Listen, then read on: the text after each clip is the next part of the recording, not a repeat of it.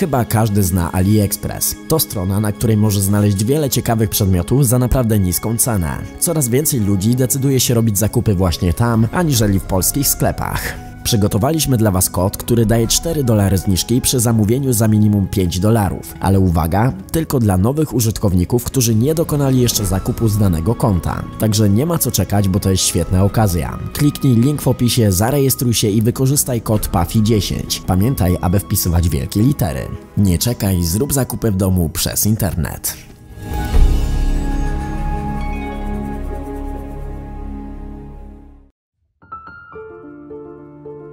Od jadowitych pająków po ludzkie części ciała. Oto kilka szokujących rzeczy znalezionych w jedzeniu. Pamiętaj, aby ocenić ten film i zapraszam do oglądania.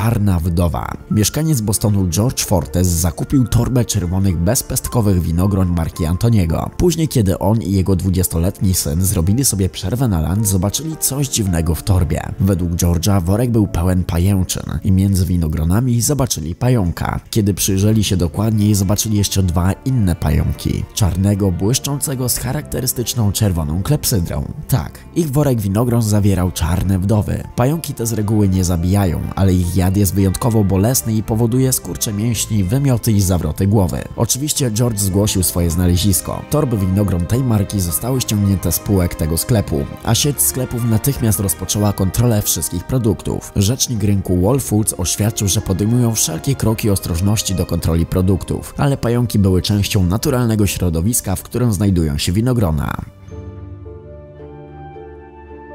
Kiedy otwieramy woreczek mrożonych warzyw, raczej niczego innego niż mrożone warzywa nie chcemy tam znaleźć. W 2010 roku Marty Hoffmana otworzyła taką torbę dla swojego psa. Pies Hoffmana był na specjalnej diecie mięsno-warzywnej, ponieważ miał chorobę skóry. W każdym bądź razie, kiedy otworzyła torbę, zobaczyła coś zamrożonego, co początkowo uważała za dziwnie wyglądające szparagi.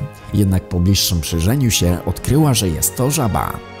Hoffmani skontaktowała się z FDA, jednak nie zareagowali oni tak szybko jak jej rodzina. Jej rodzina zrobiła zdjęcie znalezisku i wysłała je do lokalnej gazety, a ta z kolei skontaktowała się ze sklepem spożywczym. Warzywa tej marki zostały natychmiast ściągnięte z półek i zostały sprawdzone. Nie znaleziono jednak żadnych innych żab, a cały incydent został uznany za przypadek. Podobno FDA ostatecznie przeprowadziło inspekcję fabryk, w którym warzywa zostały przetwarzane, ale nie ma informacji o tym, czy jeszcze coś znaleźli. Rozpowszechniono pogłoski, że że rodzina zamierzała pozwać firmę i wykorzystać całą tą sytuację. Jednak rodzina Hoffmanów zaprzecza tym pogłoskom i twierdzi, że nadal robi zakupy w tym sklepie. W sumie, co może zrobić ci mała zamrożona żaba?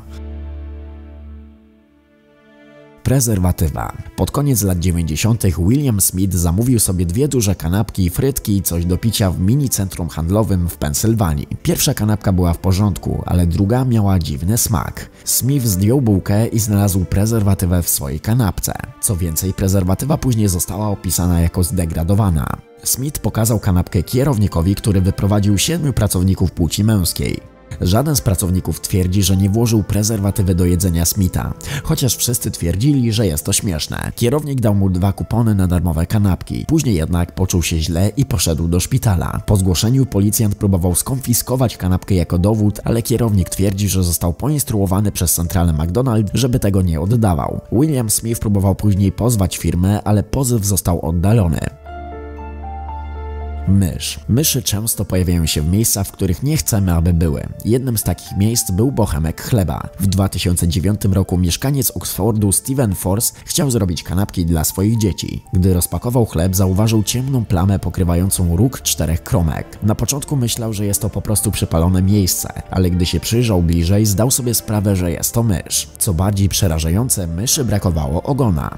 Po dalszym dochodzeniu nikt tego nie potrafił wyjaśnić. Force przekazał chleb funkcjonalny funkcjonariuszom ochrony środowiska. W piątek premier Foods przyznał się do winy za niewłaściwe przeprowadzenie kontroli. Zostali ukarani grzywną o wysokości 5500 dolarów.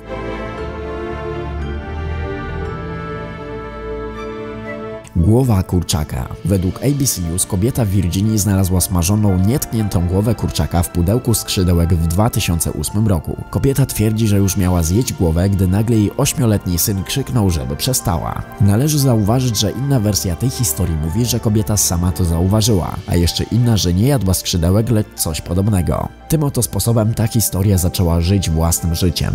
Podobne sytuacje powtórzyły się wiele razy. Kierownik restauracji zaoferował tej kobiecie dwa tygodnie bezpłatnych posiłków, lecz kobieta odmówiła. Także próbowała pozwać McDonald's na 100 tysięcy dolarów, ale niestety się nie udało. Wygląda na to, że trudniej jest pozwać McDonald's niż mogłoby się wydawać. W tej historii jednak jest kilka dziwnych rzeczy. Raporty mówią, że kobieta nie pozwoliła kierownikowi na sprawdzenie jedzenia, a zamiast tego od razu poszła do telewizji. Poza tym istnieje wiele etapów przetwarzania kurczaka, więc jakim cudem głowa wślizgnęła się do skrzydełek? Historia jest dziwna i niewiarygodna. Prawda czy też nie, zawsze jest dobrze popatrzeć zanim się coś zje. Odcięty palec. W 2005 roku kobieta o imieniu Anna stwierdziła, że znalazła odcięty palec w filiżance chili. Sieć straciła 21 milionów dolarów w wyniku skandalu. Jednak detektyw stwierdził później, że całe to zajście było oszustwem. W chili nie było żadnego palca. Zarówno Ayla, jak i jej chłopak przyznali się do spisku w celu wyłudzenia pieniędzy. Wielka kradzież się nie udała. Ayla popłakała się w sądzie i twierdziła, że potrzebowała pieniędzy. Ona i jej mąż zostali skazani na 12 lat więzienia. Ayla została wypuszczona po 9 latach, jednak dostała dożywotni zakaz wchodzenia do tej sieci sklepów. Dzięki za oglądanie. Pamiętajcie, aby ocenić ten film i trzymajcie się. Cześć!